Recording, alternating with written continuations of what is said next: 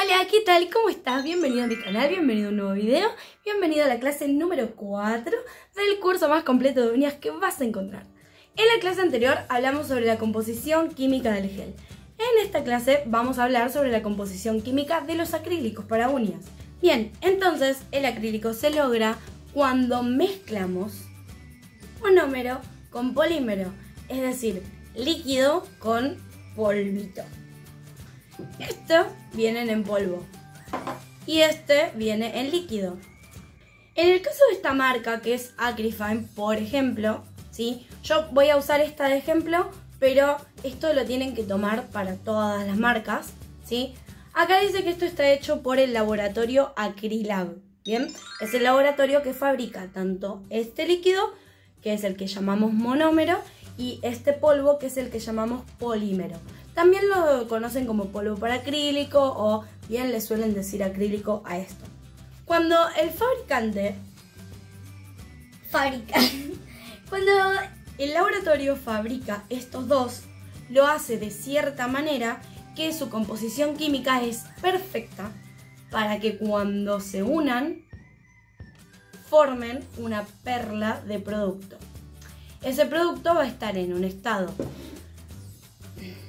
medio, en un estado semisólido, medio líquido, medio viscoso, que nos va a permitir moldearlo y que al contacto con el oxígeno, con el aire, va a polimerizar al cabo de unos segundos. Bien, este no necesita lámpara, no necesita cabina para uñas y no reacciona ante la energía ultravioleta. Simplemente cuando unimos uno con otro, con un pincel, lo que sucede es que se forma eh, una reacción que genera esta perla y que al cabo de unos segundos polimeriza en un plástico duro. Este plástico duro que forman es mucho más rígido que, o sea, mucho más duro que los geles. Pero eso no significa que sea más resistente, ¿sí? Solamente es más duro. La resistencia, lo que duran las uñas esculpidas o un esmaltado en nuestras uñas, en las uñas de la clienta, lo determina la aplicación que hayamos hecho y que los pasos hayan sido los correctos. E incluso a veces interfiere el tipo de uña que tiene la clienta. Entonces, paso a paso vamos a ir conociendo todos los detalles, todos los secretos para que puedan tener la mejor experiencia en su trabajo de uñas y de esa forma todas las aplicaciones les duren, todas las aplicaciones sean correctas. Otra cuestión a tener en cuenta es que también encontramos en la vida productos que están hechos de acrílico, ¿sí? El acrílico, como les decía, es un plástico duro. Pero ¿qué pasa? Cuando nosotros compramos, qué sé yo, un vaso de acrílico, una caja de acrílico, lo que sea de acrílico, el fabricante ya hizo su mezcla con unas cantidades perfectas de polímero y monómero, logró una estructura, la moldeó y a vos ya te la entrega ya hecha acrílico. Bien.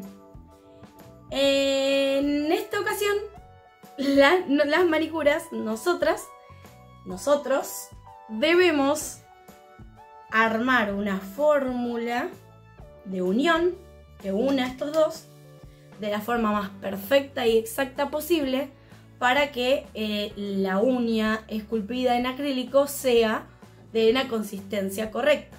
Entonces, cuanto más perfectas sean nuestras perlas en cuanto a cantidad de uno y otro producto, es decir, de polímero y de monómero, más cerca vamos a estar de lograr el éxito en la aplicación, es decir, de que llegue a los benditos 21 días, sin que se partan o se desprendan. ¿sí? Aunque el desprendimiento tiene que ver con muchísimos factores, uno de los factores puede ser la aplicación, el producto que estamos usando y la forma en que lo estamos aplicando. Entonces, lo que necesito es monómero, o sea líquido, polímero, o sea polvo, y un pincel. En general, los pinceles para acrílico suelen tener esta forma como avellanada en la punta que nos ayuda, nos permite moldearlo de una mejor forma. En cambio, los pinceles que usamos para gel suelen ser rectos o con eh, la punta lengua de gato. Eh, el pincel para acrílico es muchísimo más importante que el de gel. La verdad es que en el de gel podemos usar pinceles sintéticos y mucha diferencia no va a haber. Pero ¿qué sucede cuando se trata de uñas acrílicas?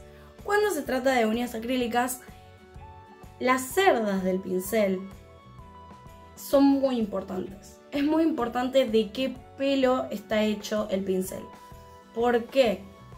Si bien yo no estoy de acuerdo con el uso de eh, pelo animal, eh, hasta hace muy poco todos los pinceles que tengo, eh, que tenía, eran o sintéticos o mezcla. ¿Qué quiere decir mezcla? Que tienen un poco de cerdas naturales y un poco de cerdas sintéticas. Una mezcla, Entonces, al tener un poco y un poco, lógicamente es mejor que uno sintético. Pero nada se va a comparar con uno que realmente sea completamente natural. Como ustedes ya saben, estoy trabajando con varias marcas que me mandan sus productos para que los pruebe y los veamos acá en los videos y demás. De hecho, tenemos patrocinadores de este hermoso curso, que son Analia Gordon Nails, donde pueden comprar sus insumos en Mar del Plata y además hacen envíos. Tenemos la Manola en Capital Federal, en 11. Lo mismo, pueden comprar en su página web o bien ir al local y hacen envíos a todo el país. Después tenemos Madame Glam, Nueva York, que pueden comprar de cualquier parte del mundo. Y además tenemos Wendy Stamping que hace unas placas de stamping que son la hostia.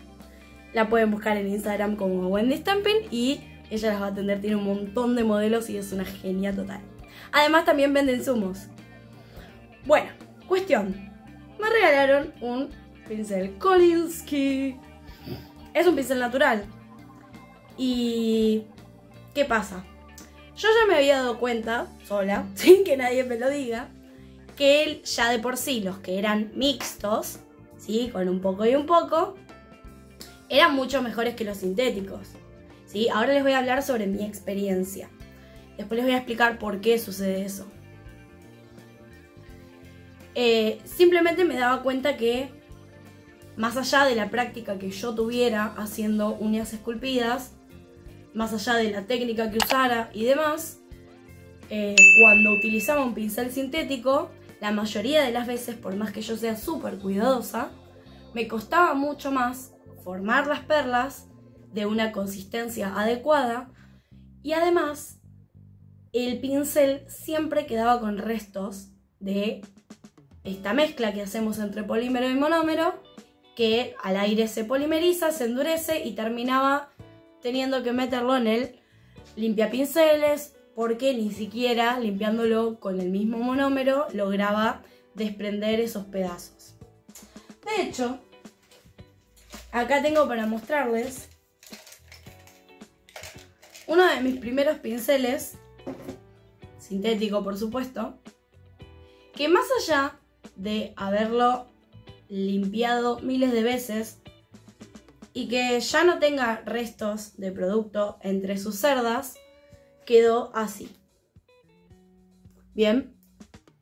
Y esto no es porque yo no le haya mantenido la punta en forma almendrada, como hemos visto en un montón de videos, sino que lo que sucede es que si yo lo presiono, esta parte de acá está dura, ¿sí?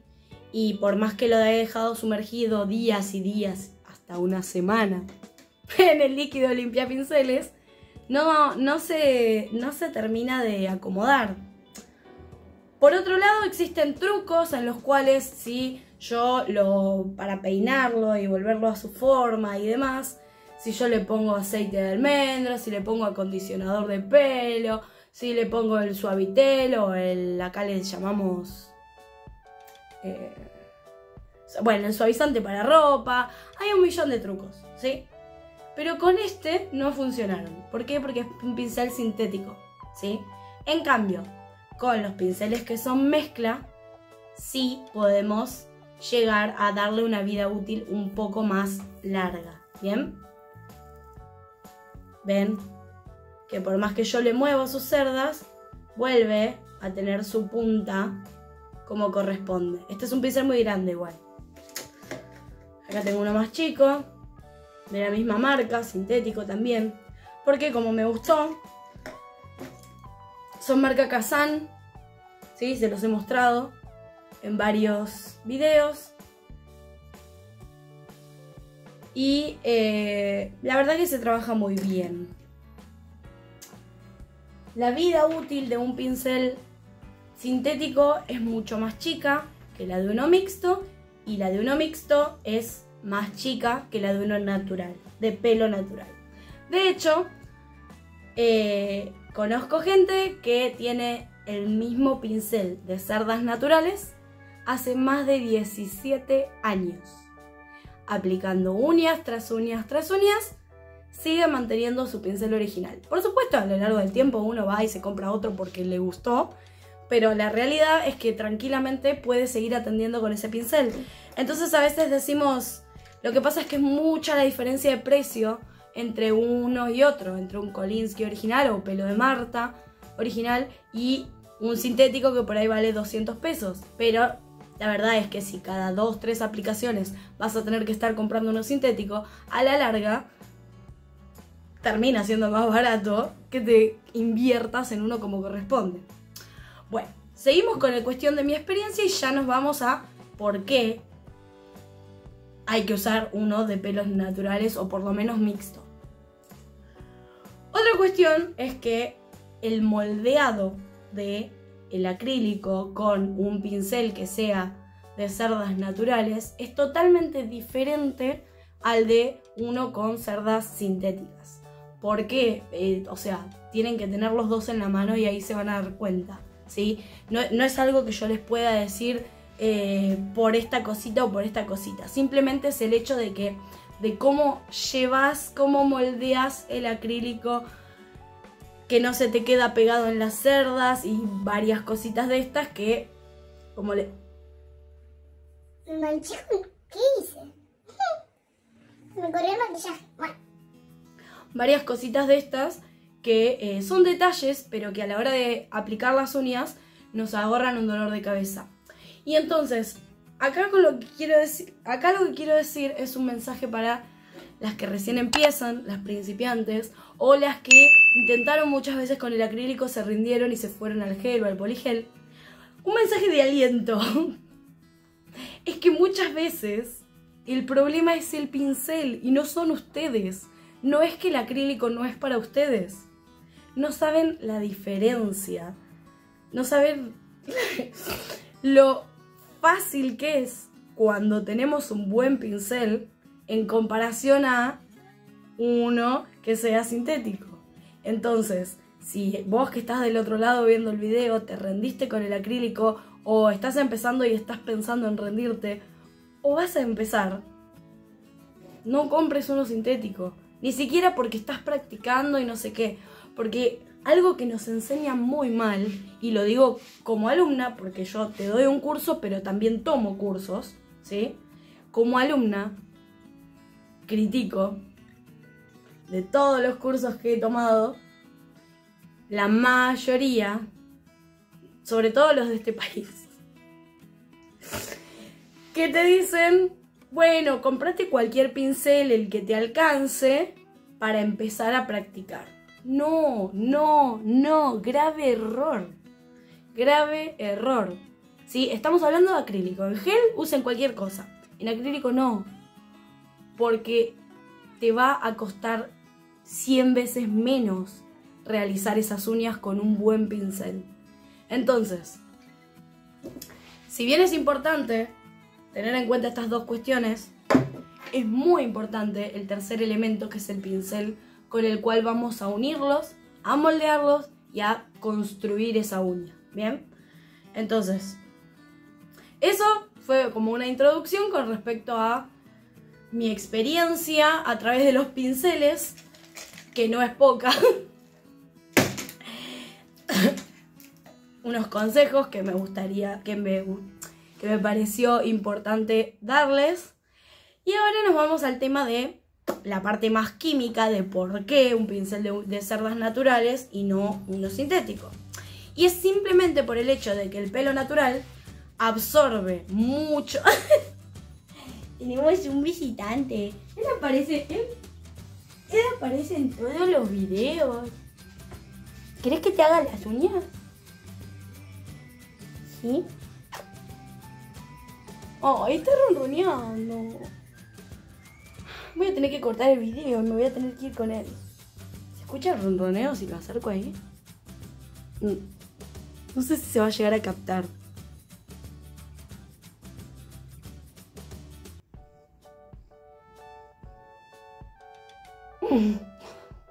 Mi amor, ¿me vas a dejar seguir grabando? Bueno, les estaba diciendo, sigo así. El pelo natural absorbe muchísimo más el monómero. Entonces, cuando llega la hora de formar la perla, la cantidad...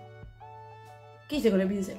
La cantidad de líquido que yo tengo en las cerdas del pincel cuando toque el polvo va a ser una cantidad diferente a la de con uno sintético.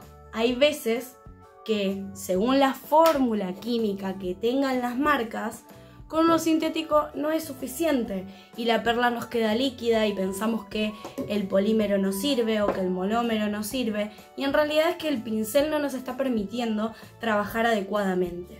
Bien, algo importante con respecto a los monómeros, por ejemplo, este dice Pro, pero el otro que tengo allá arriba, acá en vez de Pro dice original. Esta marca le puso Pro de nombre a el que es de secado rápido, de polimerizado rápido. Porque, ¿qué sucede? El plástico este duro, llamado acrílico, cuanto mayor temperatura haya en el ambiente, más rápido produce la reacción química y más rápido se polimeriza. Entonces, cuando por el contrario estamos en un ambiente más frío, tarda mucho más.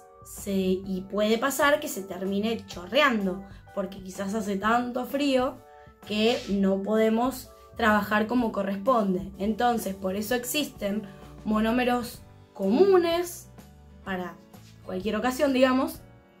Existen los de secado rápido y existen los de secado lento. Bien, en mi caso, como yo vivo en Mar del Plata, la mayoría del año hace frío, aunque ahora estamos en verano, fíjense, estoy con un saquito. ¿Por qué? Porque es Mar de Plata. Entonces, lo que yo más uso es un polímero, eh, un monómero común para cuando, por ejemplo, hace calor. O bien uso el Pro, que vendría a ser el de secado rápido, para cuando hace muchísimo frío o mucho frío porque necesito un acelerador del proceso para que no se me chorree, para que no esté 5 horas ahí esperando a que se polimerice. ¿sí? Tengo esta opción de este agente externo, digamos, que le agregan a la fórmula para que polimerice más rápido. Otro error de las principiantes es no tener en cuenta esto del clima, es decir, de la temperatura ambiente de el afuera y de el salón, de donde están trabajando. Porque si, por ejemplo, vos no tenés ni idea de cómo moldear el acrílico y encima te compras uno que es de secado rápido, te va a agarrar una cosa que vas a decir, esta porquería se seca enseguida y no lo puedo trabajar y chao, lo tiro. Y al final era porque necesitabas uno que seque un poquito más lento.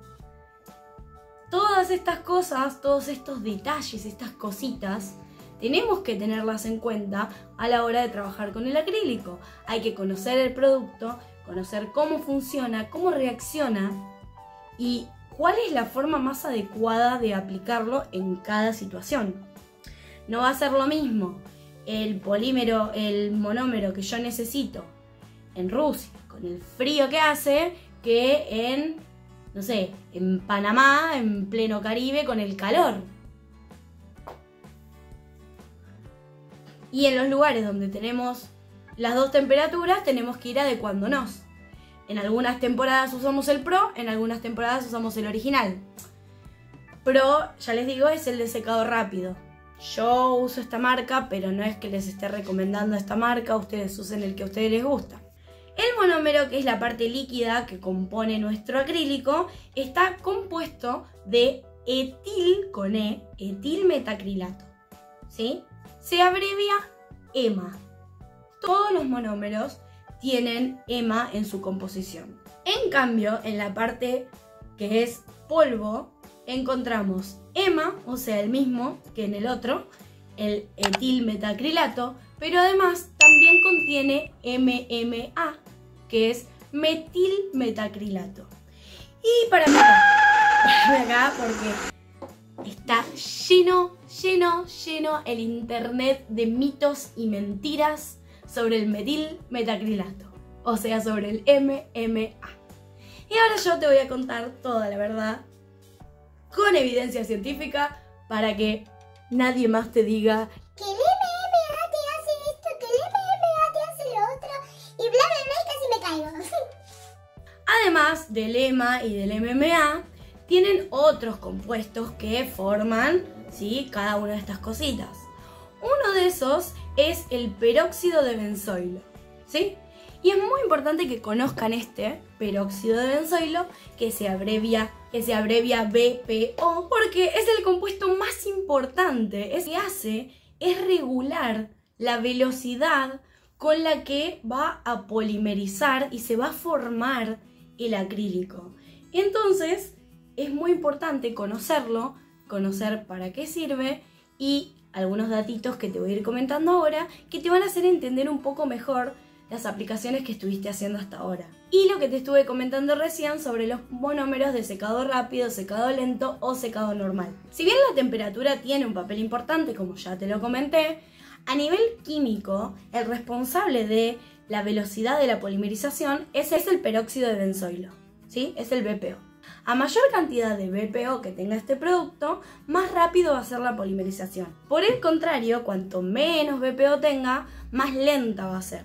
Entonces, los fabricantes pueden jugar un poquito con eso para poder realizar distintos tipos de productos. ¿Por qué me traje para el video, si bien allá atrás hay un montón de marcas, por qué me traje polímero y monómero, monómero y polímero de la misma marca y del mismo laboratorio?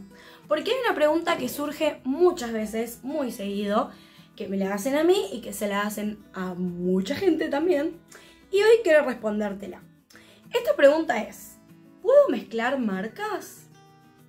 ¿Qué pasa si uso un monómero de una marca con un, polímero de otra? ¿sí? Lo que sucede es que una uña esculpida con estos dos, con estos dos, no va a ser lo mismo que una uña esculpida con estos dos. Por más que a la vista, a simple vista, se vean iguales, ¿sí? Teniendo en cuenta que los dos son cover y que puede variar el tono, no me estoy refiriendo a eso, no me estoy refiriendo al color, ¿sí? Me estoy refiriendo a la composición química de esa uña. Si nosotros conocemos la teoría, podemos entender que en realidad no es correcto mezclar marcas. Lo que sucede es que en la práctica sí mezclamos marcas. Tampoco les voy a mentir y les voy a decir, no pueden mezclar marcas, porque hasta yo lo hago. Si se fijan ahí arriba, el único monómero que tengo ahora en este momento es de esta marca, Acrifine. Tengo el original y tengo el Pro. Pero polímeros tengo un montón de marca, inclusive estos frasquitos de colores chiquititos son sin marca. O sea, incluso en estos tupercitos tengo polímeros creados por mí misma. Donde agarré polímero clear, le puse pigmentos, le puse glitters, mezclé, proporciones divinas, levanto una perla con el monómero y funciona. Y funciona. E incluso hay gente que se pone a hacer esto de comprar un frasco de un kilo de polímero clear, que es el transparente, compra pigmentos, compra los glitters, compra los frasquitos, le pega su etiqueta y te lo vende como una colección divina. Y vos la comprás, la usás y nunca pasó nada. Entonces, ¿qué, qué te estoy explicando?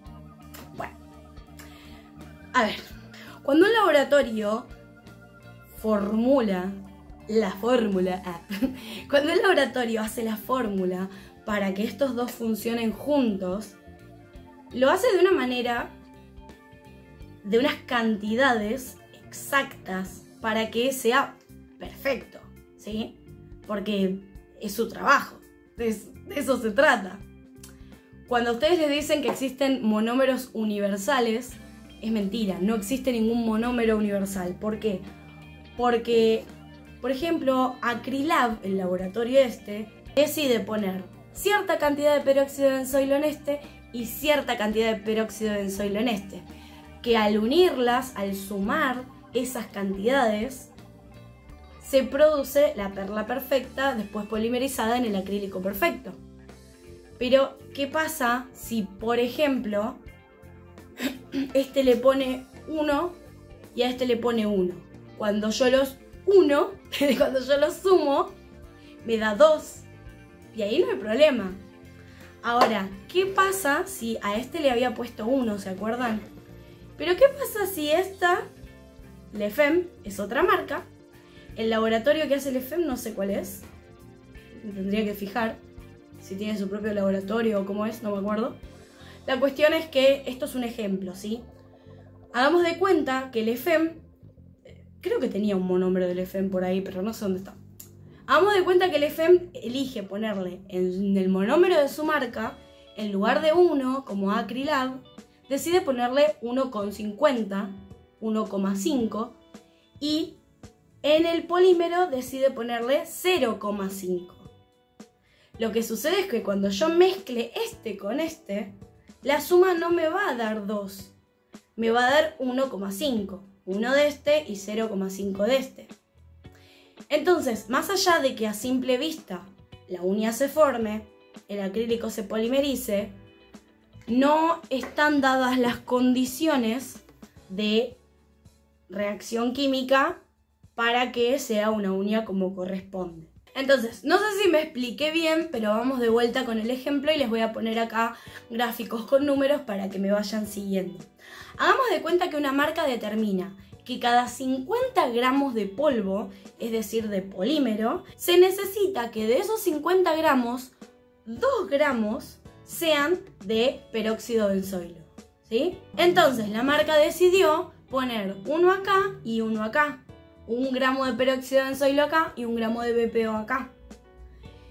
Otra marca X, que, podría llegar a ser Lefem, por ejemplo, determina que de esos 2 gramos cada 50 de polvo, le va a poner 1,5 acá y eh, al revés, 0,5 acá y 1,5 en el monómero, ¿sí?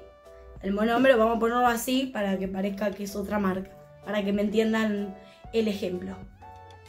Cuando yo los uno, los del FM, me da ese 2%, entonces la fórmula está correcta. Ahora, cuando yo lo mezclo con el de otra marca, no me da la suma. Que cada o sea, no me da la cuenta de que cada 50 gramos de polvo, 2 gramos sean de peróxido benzoilo. ¿Bien? Entonces, entonces, esta falta de los gramos de peróxido de benzoilo lo que hace es que no polimerice correctamente.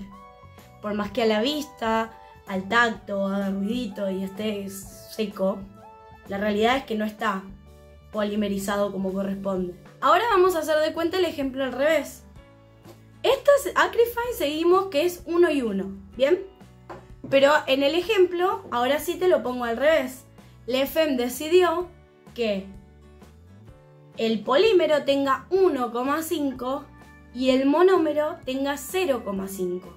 Entonces, si yo uso el monómero de Acrifine que tiene 1 gramo de BPO y el polímero de Lefem que tiene 1,5, a mí me está dando que cada 50 gramos de polvo obtengo 2,5 de peróxido de benzoilo. Y por el contrario, con el ejemplo anterior, lo que se produce es que se cura en exceso, se polimeriza de más, se sobrecarga la polimerización y esto puede dañar la uña esculpida. Muchas veces cuando nos estamos haciendo uñas esculpidas en acrílico o bien le estamos haciendo a la clienta, nos refiere o nosotras mismas nos damos cuenta que sentimos un calor, un calorcito.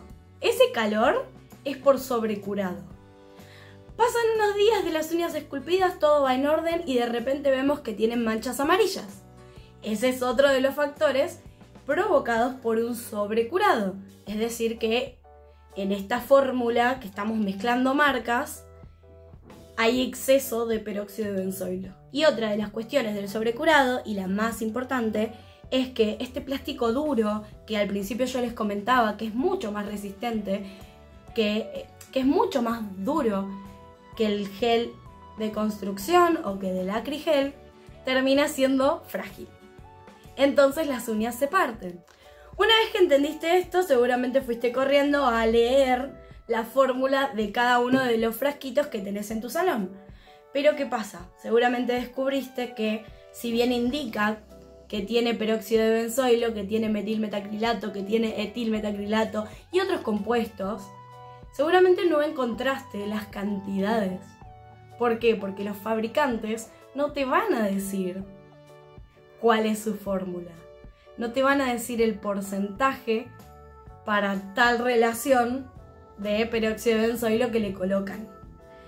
¿Y cómo podemos darnos cuenta? Con un estudio químico. la realidad es que la única forma de saber exactamente cuánto peróxido de benzoilo cada 50 gramos de polvo tiene un polímero o un monómero es en un laboratorio. No podemos saberlo en el salón de uñas. Bueno, está bien. Entonces, ¿qué puedo hacer yo de este lado en mi salón de uñas? Lo primero a tener en cuenta sería tratar de utilizar las mismas marcas, pero sé que eso es imposible. Entonces, lo que trataría de probar antes de usar el acrílico con una clienta o conmigo misma sería hacer pruebas. Un detalle importante es que hay muchas marcas que eh, me gustó mucho cómo, lo nombró esto una educadora de, uno de los últimos cursos que hice, que le llamaba marcas hermanas. ¿Y qué quiere decir marcas hermanas? Marcas hermanas significa que salen del mismo laboratorio. Por ejemplo, hay muchos productos de Las Varano y del Lefem que son los mismos en botella, o sea, que es fabricado por la misma persona y embotellado con diferente etiqueta. por ejemplo, eh, si no recuerdo mal, creo que eran el Ader y el Primer y el Bonder, de ambas marcas, los hace una de ellas. No me acuerdo cuál de las dos. Esto es algo que me comentó eh, una proveedora de insumos, ¿sí? que como ella le compra directamente a las marcas, me comentaba que eh, las vendían desde el mismo lugar. Es una forma de interpretar que son marcas hermanas en algunos productos. Ahora, ¿cómo podemos darnos cuenta si son marcas hermanas? Porque podemos leer en la parte de atrás, por ejemplo, quién eh, lo fabrica. ¿sí? Acrilab es un laboratorio que vende a muchas marcas eh, el polímero transparente, el cover viste que son poquitos, vieron que son poquitos. Tiene el blanco, el cover y el clear, el cristal. Y después tiene los de color en formato chiquitito como un extra, pero no es que tiene una gran línea de productos, sino que se dedican más bien a la fabricación de eh, lo básico, ¿sí? Así como yo tengo este frasco chiquito que es de...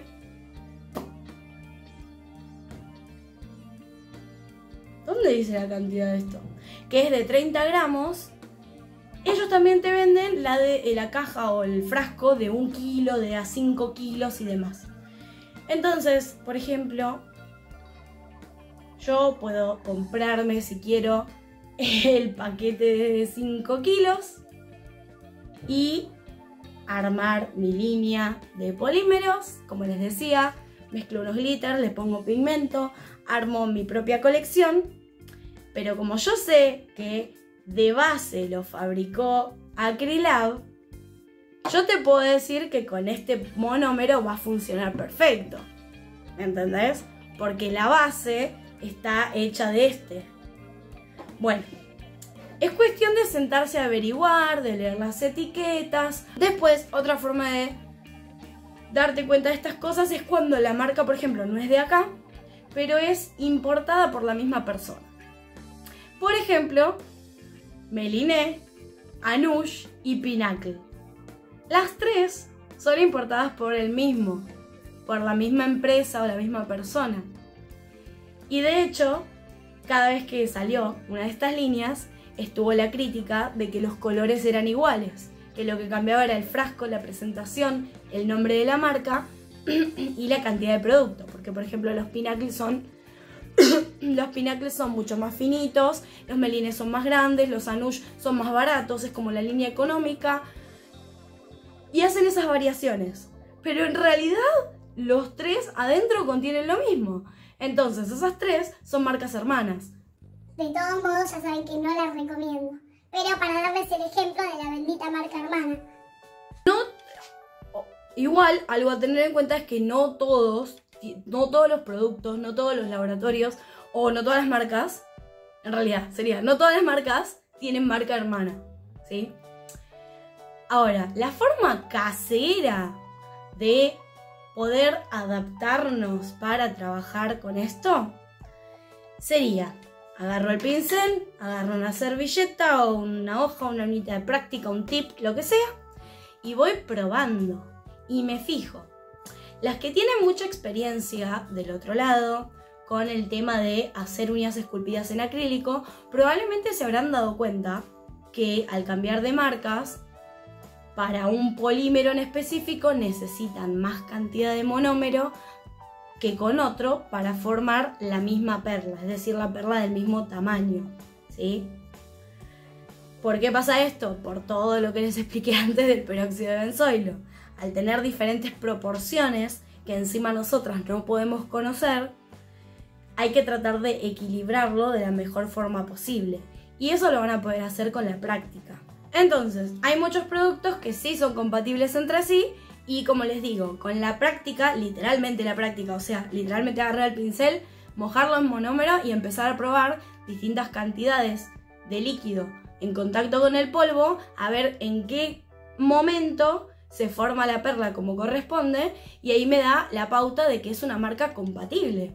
Que por más que no sea la misma marca, que por más que no esté fabricada por la misma persona, puedo llegar a lograr una compatibilidad que no tenga un curado deficiente ni tampoco un sobrecurado. Entonces no es tan grave como parece. Entonces ahora vamos a hablar de la proporción de líquido y polvo general. ¿Sí? ¿Por qué digo general? Bueno, creo que ya se habrán dado cuenta con todo lo que hablé antes que cada laboratorio y fábrica hace lo que quiere con sus productos. Y que encima no es algo que nosotros tengamos acceso. Entonces, tenemos que lograr la forma de adecuarnos. En general, la proporción es de dos porciones de líquido por una de polvo. Es decir, que yo mojo el pincel en una cantidad de dos y luego toco el polvo en una cantidad de uno. No en un toque, sino hablo de cantidades. Bien, lo de los toques lo vemos después. Hay distintas técnicas para poder lograr la perla perfecta. Algunas tienen que ver con la posición en la que yo introduzco el pincel contra el polvo, otras en la cantidad de toquecitos que les doy y otra en la cantidad de líquido que absorbemos del monómero con el pincel y la cantidad que lo escurrimos. Porque al escurrirlo le estamos sacando líquido, obviamente. Entonces al llevarlo con menos líquido, si tocamos demasiado puede ser que la perla nos quede seca. Tenemos diferentes posibilidades que la perla quede muy seca, que la perla quede muy húmeda, o bien lograr la consistencia perfecta. Cuando nosotros formamos una perla que es muy líquida y la aplicamos igual, lo más probable es que se genere como una mezcla de pigmentación. A veces nos pasa que cuando ponemos una perla muy líquida, al tener más líquido que polvo, queda de diferentes tonalidades. Por otro lado, el riesgo de una perla muy seca es el de los desprendimientos prematuros. Cuando trabajamos con perlas muy secas, el líquido no alcanza a cubrir todo el polvo que agarramos, lo pasamos igual a la uña y si queda polvo entre las capas que fuimos armando, ese polvo no polimeriza y ocupa espacio interviniendo en la construcción de este plástico duro y puede generar desprendimientos si esa porción de polvo quedó en contacto con nuestra uña. A ver, yo les puedo decir que como tiempo general eh, y toquecitos generales, estas reglas generales que existen de que una vez que mojamos en monómero, escurrimos un poquito y tocamos el polímero, son de, 3 son de 2 a 3 toques eh, y de 3 a 4 segundos aproximadamente, pero la realidad es que esto va a variar mucho de acuerdo a el clima que haga donde vos estás, de los productos que estás usando, del pincel que estás usando, de la cantidad de monómero que agarraste.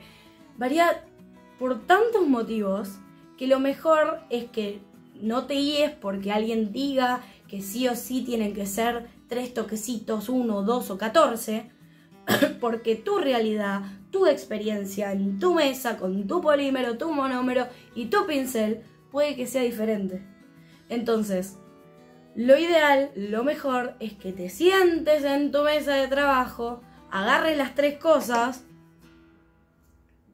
una servilleta, una hoja de práctica. Les voy a armar una, para la siguiente clase, que ya vamos a ir viendo estas cosas, les voy a armar una planilla que la pueden imprimir, le ponen un folio o la plastifican, le ponen contact y arriba de eso pueden practicar 2 millones de perlas. Entonces, como ya vimos, cuando ponemos en contacto el polímero con el monómero, empiezan a ocurrir diferentes cosas. Que dan como resultado la polimerización, una uña esculpida, etcétera, etcétera. Pero, ¿qué pasa en el medio? ¿Qué pasa? Esto se puede dividir en diferentes etapas. La primera de estas etapas es la etapa húmeda, que es donde entra en contacto el líquido con el polvo. Y las moléculas empiezan a interactuar para unirse y formar la bendita perla. La siguiente etapa es la etapa donde yo coloco esa perla sobre la uña y empiezo a moverla para aplicarla en el área que yo quiero depositar esa perla, ¿sí? Una vez que hago eso, la siguiente etapa, la siguiente parte es la del moldeado. Es cuando yo con el pincel, cuando ya tengo el acrílico en la uña, empiezo a aplastarlo, a moverlo, a llevarlo, a traerlo. Lo voy moldeando para formar mi bella uña. En el moldeado es cuando el producto empieza ya a estar un poco más denso y no se puede mover tanto. No es que si lo barro con el pincel lo voy a poder retirar, ¿sí? Porque va a estar un poco más anclado ya. En este momento lo que puedo hacer es ir definiendo detalles, y por ejemplo, este es el momento exacto en el cual yo puedo aplicar la pinza para curvatura C en el caso de que vaya a aplicarla, que es cuando todavía no se terminó de polimerizar por completo, pero tampoco está tan flojo como para que se me meta para adentro, básicamente, que tiene cierta resistencia. Por último, cuando finalmente el producto ya está durito, seco, se terminó la polimerización. En el siguiente video vamos a hablar sobre los mitos y verdades sobre el metilmetacrilato que tan loca nos vuelven. Así que nos vemos mañana en el próximo video. ¡Chao!